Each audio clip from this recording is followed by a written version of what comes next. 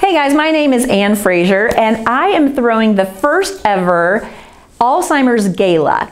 Gala, Gala, I think if it's correct, it's Gala, but in Kansas City, and it's on a Thursday night, which you probably know Thursday nights is a great night to go out. It's June 10th, and it is at a great event space. It's in Martin City at the Martin Event Space.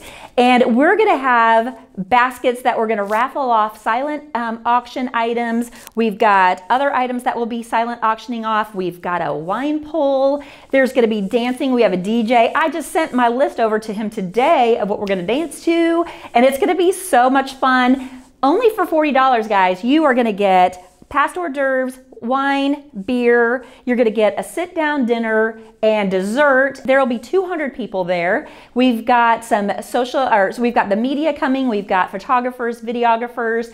It's going to be a big deal. And so I would love to personally invite you. We've just got uh, a small amount of tickets left, but really want to make sure all those seats are filled. So if you've been touched by Alzheimer's in any way, shape, or form, whether it's a family member or a friend or someone else, this is a big deal to be able to help provide uh, this as a benefit to go towards uh, really, really getting out the message about hope and brain health. And the Alzheimer's Association is backing that up and is all in on it. And I'm so excited. So, looking forward to seeing you.